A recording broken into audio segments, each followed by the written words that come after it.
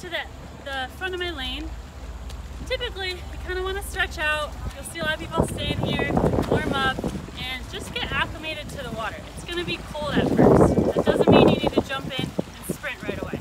So make sure you understand how deep the water is. A lot of pools don't let you dive, so it's best to like slowly get in the water.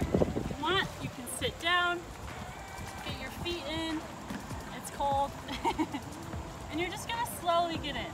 If you're a little bit uncomfortable in the water, we recommend that you are always holding onto the side and get comfortable breathing and floating, which we're gonna show you in a minute. So, you're gonna slowly get in. It's a little cold, so I'm not quite ready to swim, all right? I'm gonna put my goggles on so I can get used to what it feels like to have my goggles on and see what it's like underwater and make sure that you're aware of your surroundings. So if someone is sharing a lane with you, you're going to want to do something called circle swim. That means that you're always going to swim on the right side of the lane so that everyone's rotating in a counterclockwise direction. If there's someone in your lane coming your way and you're about to get in the water, just hop in and scoot over to the side. Either on this corner or that corner, but just give them some room. So, once you're in the water, what we recommend is just get used to the water, get warm.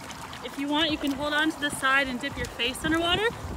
Get used to blowing bubbles in and out of your nose and your mouth.